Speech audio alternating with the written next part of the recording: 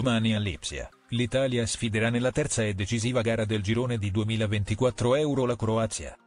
Gli azzurri sono arrivati oggi nella città tedesca dove Luciano Spalletti ha parlato alla stampa alla vigilia della gara in conferenza. Prima della conferenza stampa, il Citi Spalletti ha parlato ai microfoni di Sky Sport, è una partita molto importante, non dobbiamo pensare che ci basti il pareggio. Si può cambiare un elemento, ma non l'idea. Io sto più tranquillo quando la palla ce l'abbiamo noi e sto più in pensione quando ce l'hanno gli altri. Poi a volte siamo costretti a subire il gioco degli avversari, è chiaro. Scamacca o Retegui contro la Croazia?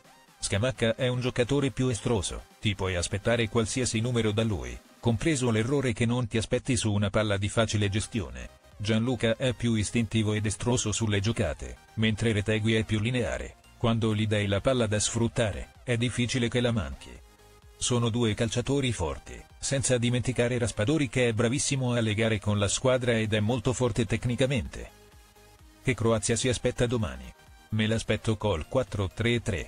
I croati saranno costretti a sbilanciarsi come nella gara contro l'Albania, dove hanno attaccato all'arma bianca. Parliamo di una squadra fortissima dal punto di vista tecnico e nella ricerca degli spazi in campo. La conferenza stampa di Luciano Spalletti. Questa squadra ha la mentalità per destini forti? Ci sono partite che la tua storia la fanno diventare piccola o grande, è da questa sfida qui che poi si hanno dei risultati importanti su quelle che sono le proprie storie.